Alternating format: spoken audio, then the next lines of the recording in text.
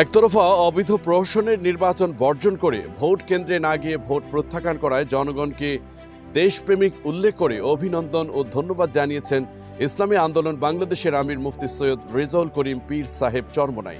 একই সাথে দ্বাদশ জাতীয় সংসদ নির্বাচনে ভোট না দিয়ে লাল কার্ড দেখিয়ে দেওয়াকে প্রশংসা করেছেন তিনি।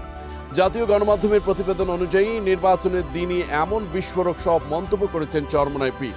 সাত তারিখ রাতে এক বিবৃতিতে তিনি বলেন, ভোট বর্জনের মাধ্যমে সচেতন দেশবাসী লাল কার্ড দেখিয়ে প্রমাণ করেছে যে তারা দলীয় সরকারের পাতানো তথাকথিত নির্বাচনের নাটক শুধু দেখতে চায় না, বরং ঘৃণাবরে প্রত্যাখ্যান করেছে।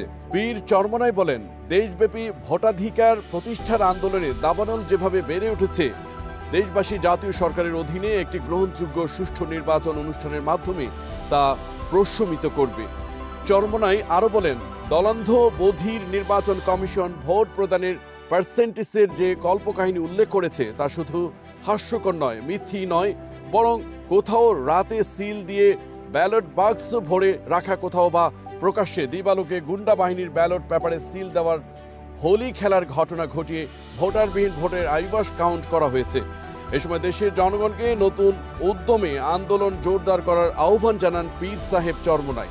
উল্লেখ্য, সৈয়দ মোহাম্মদ রেজাউল করিম, যিনি পীর সাহেব চরমনাই নামে অধিক পরিচিত একজন ইসলামী পণ্ডিত, রাজনীতিবিদ, শিক্ষাবিদ ও ধর্মীয় আলোচক। বর্তমানে তিনি ইসলামী আন্দোলন বাংলাদেশের দ্বিতীয় আমির হিসেবে দায়িত্ব পালন করছেন। এছাড়াও তিনি বাংলাদেশ মুজাহিদ কমিটি ও বাংলাদেশ কুরআন শিক্ষা বোর্ডের সভাপতি এবং বেফাকুল মাদারিসিল আরাবিয়া বাংলাদেশের সহসভাপতি। তিনি দুই মেয়াদে চরমনাই ইউনিয়নের চেয়ারম্যান ছিলেন।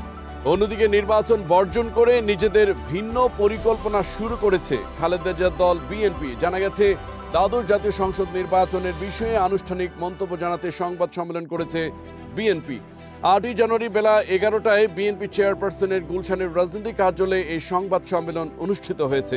এই সম্মেলনে সাবেক মন্ত্রী ও বিএনপি জাতীয় স্থায়ী কমিটির সদস্য অধ্যাপক ডক্টর আব্দুল মঈন খান এতে বক্তব্য রেখেছেন। এছাড়াও বিএনপি জাতীয় স্থায়ী কমিটির সদস্যবৃন্দ সেখানে উপস্থিত থেকেছেন বলে নিশ্চিত করেছেন চেয়ারপারসনের প্রেস উইং কর্মকর্তা শামসুদ্দিন দিদার। সাতই জানুয়ারি সারা দেশে দ্বাদশ জাতীয় সংসদ নির্বাচনের ভোট গ্রহণ অনুষ্ঠিত হয়। এর আগে নির্বাচন বর্জনের ঘোষণা দেয় বিএনপি সহ সমমননা রাজনৈতিক দলগুলো।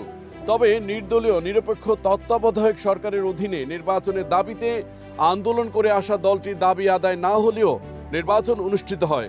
আর এই নির্বাচন নিয়ে আনুষ্ঠানিক মন্তব্য জানাতে সংবাদ সম্মেলন ডেকেছে বিএনপি।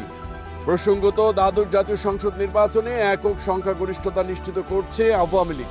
দুশো নিরানব্বইটি আসনের মধ্যে আওয়ামী লীগ পেয়েছে দুশো চব্বিশটি আসন।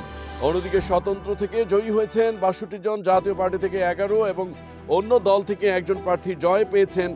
অন্যদিকে একটি আসনের ফলাফল স্থগিত রয়েছে। এই দিন নওগাঁ দুই আসনে এক প্রার্থীর অকাল প্রয়াণের কারণে এবার ভোট হয় দুশো নিরানব্বইটি আসনে।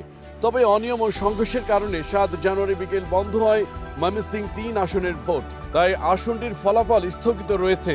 এই আসন বাদে দুইশো আটানব্বইটি আসনের ফলাফল পাওয়া গেছে। স্বল্প ভোটার উপস্থিতি এবং বিভিন্ন স্থানে সহিংসতা সহ নানা ঘটনার মধ্য দিয়ে সারা দেশে দ্বাদশ সংসদ নির্বাচনের ভোট গ্রহণ শেষ হয়েছে। নির্বাচনের শেষ দিকে এসে জাতীয় পার্টি সহ বিভিন্ন দলের অনেক প্রার্থী অনিয়মের অভিযোগ তুলে নির্বাচন থেকে সরে দাঁড়িয়েছেন। নির্বাচন কমিশন অবশ্য বলছে, নির্বাচন সুষ্ঠু হয়েছে, তবে অনিয়মের অভিযোগে নয়টি আসনের একুশ কেন্দ্রের ভোট স্থগিত করা হয়েছে।